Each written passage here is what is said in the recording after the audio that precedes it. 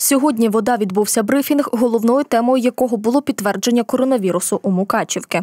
Це жінка е, з міста Мукачева 51-го року народження, поступила у інфекційне відділення 23.03. Е, Хочу зразу сказати, що стан її задовільний.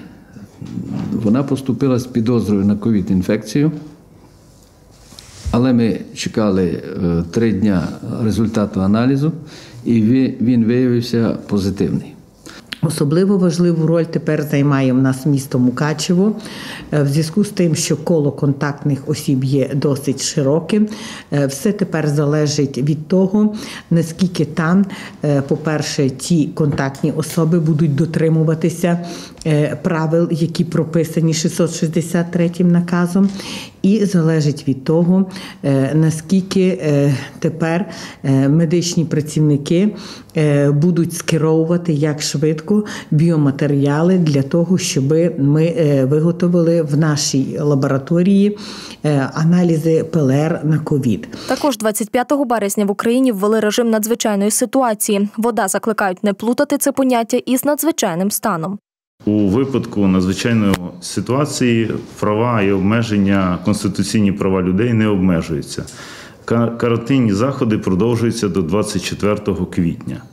Вчора на комісії було прийнято рішення про з чотирьох пунктів пропуску, які є е, перевали в Закарпатській області, два будуть закриті повністю, два будуть працювати у посиленому режимі. Що значить посилений режим?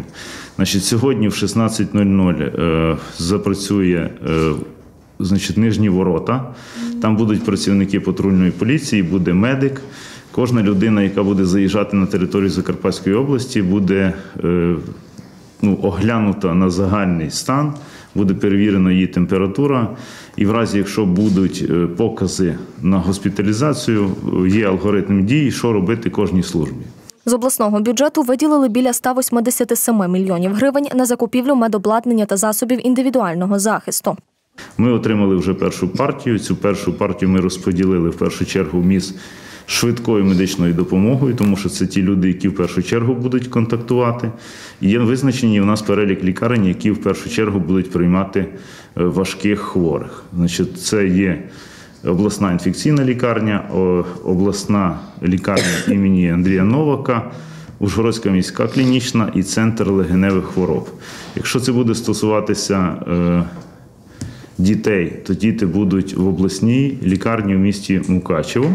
Роз'яснили під час брифінгу, що таке метод ПЛР. Днями має запрацювати і обласна лабораторія, яка визначатиме цим методом, хто захворів на COVID-19. Принцип дії швидких тестів. Е, Наразі є тест, який ґрунтується на тому, що із капілярної крові або сироватки ми е, шукаємо антитіла. Тобто ця людина вже має хворіти і має хворіти тривалий час. Тобто має бути відповідно не тільки наявність антитіл у крові, а їхня відповідна концентрація. Е, Це можливо тільки після 10-го 14-го дня з моменту інфікування. Якщо ми віднімемо 6 днів інкубаційний період, то це має бути не раніше, ніж 4-5 дня клінічних проявів. Тільки тоді тест може спрацювати.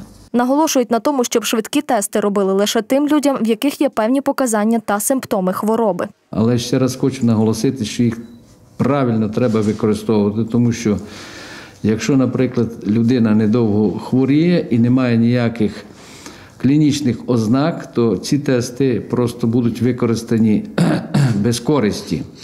Тому, е, якщо є багато бажаючих, щоб їм зробити цей тест, але ми не можемо їх просто так тратити, повинні, по-перше за все, повинні бути клінічні покази для цього.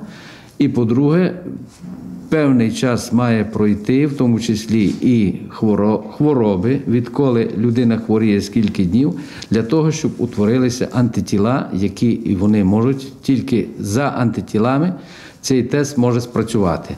Станом на 27 березня на самоізоляції перебуває 7645 осіб. Із них 6530 повідомили сімейного лікаря, та 195 е, з них е, мають ознаки ГРВІ.